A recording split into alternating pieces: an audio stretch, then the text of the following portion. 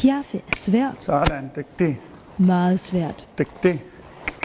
Græsmarkens Don Pedro har vundet Grand Prix, gået internationale stævner og været i finalen til DM. Men Piaffen har ikke været let, for Pedro bevæger sig kæmpe stort. Og det har været en stor opgave at få lært ham at få kortet de her store trin ind til de små trin, der kræves, når han skal lave piaf, uden at han mistede energien. Pedro er bygget meget rejst fortil. Det er en fordel, fordi han naturligt vikker op ad bakke. Men omvendt kan den type heste let sænke ryggen og snæve sig sammen fortil. Og det dur ikke. Og det, der var problemet for os, det var, at vi kunne godt få Pedro til at stå og lave noget, der lignede piaf, hvor den bevægede benene korrekt, men den var ikke ærligt med op og svinge op over ryggen. Så det, der har været vigtigt for os, det er at få lært ham, at han skal i indlæringen af piaffen og generelt i det daglige piafarbejde, strække sin overlinje frem og ned, så han løfter ryggen og tager de her piaftrin hen over ryggen. I det arbejde her, som er det løsgørende arbejde, prøver jeg også sådan være meget let i hånden. Og gerne lidt let i sædet også. Når hesten svarer frem og ned, kan piafarbejdet, som det skal se ud til stævner, begynde.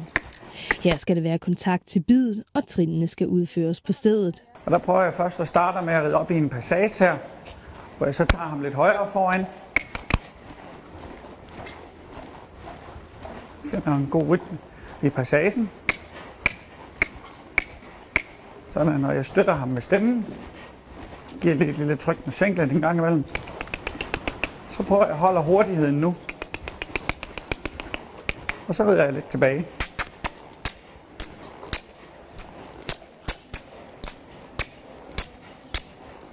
Og så lidt frem igen. Pedro er nu en erfaren herre, men for heste, der skal lære det, anbefaler Thomas, at man starter fra jorden.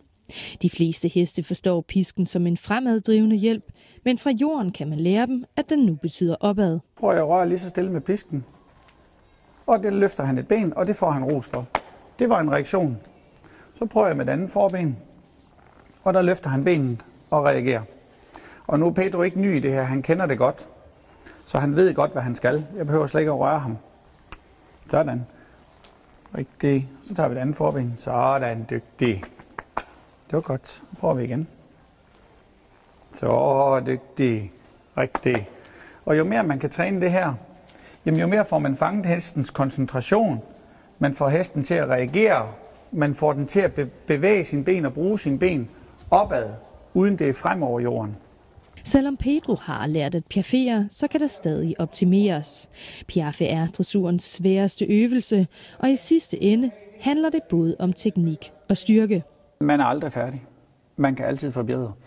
Øhm, for det første er der jo selvfølgelig den tekniske forståelse. Hesten skal kunne forstå, hvad det er, vi vil have den til. Dens motorik, den skal lære at koordinere sine ben. Øhm, Så er der den store opgave at få hesten ordentligt smidiggjort, ordentligt løsgjort i det daglige arbejde, så den er i stand til at lave piaf. Og så på lang sigt hele tiden udvikle den styrke, så den bliver bedre og bedre til at lave piaffen.